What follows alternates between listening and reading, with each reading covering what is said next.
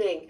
A 15 story residential tower block in Newcastle has been demolished in the first controlled explosion in the city since Sir Bobby Robson brought down the old Newcastle breweries in 2008.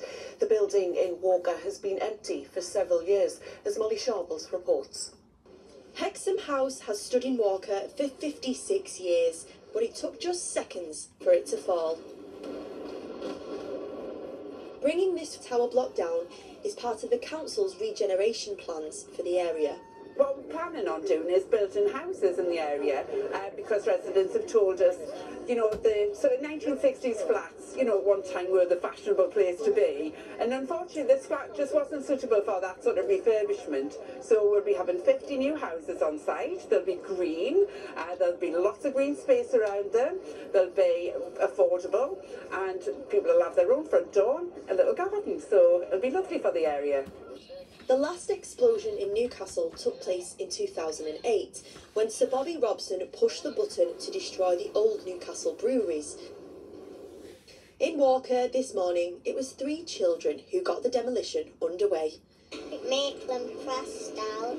We, we got to see um, a bunch of drums setting off before and we kept trying to count how many there actually were because of the smaller ones. They got to do the honours after winning a competition.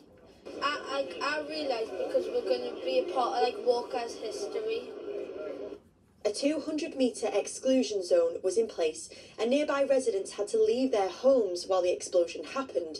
It had been eight months in the planning, and it is expected to take several months to clear the site. You can tell by the smile on my face, um, myself and my team over the moon with what's been carried out this morning. Um, buildings come down as planned. Um, very little spillage uh, outside of the site boundary, uh, apart from insulation. Very happy. A momentous moment for the people of Walker, the day Hexham House crumbled to the ground. Molly Sharples, ITV News. A County Durham teenager seriously injured after being hit by a paraglider whilst on holiday in Turkey has arrived back in the northeast. Lily Nicol from Chester-le-Street arrived at Newcastle Airport by a medical flight this afternoon. The 15-year-old had to undergo surgery in Turkey on her broken back and jaw after a paraglider landed on her. She sat outside of a restaurant three weeks ago. Her mum told our reporter Katie Cole they have lived a nightmare but are glad to be home so Lily can continue her recovery. Welcome home, Lindsay. I know, it's brilliant to be home. Um, just waiting for this day for so long. She's getting better, she's brighter. Still a long way to go, but we're just pleased we're home, family and friends. Still got a lot of broken bones, but hopefully they'll heal. And what's the plan now? Um, go and get her fixed and take her home. Yeah. A former prison officer in Stockton has been jailed after smuggling drugs into the facility that she worked at.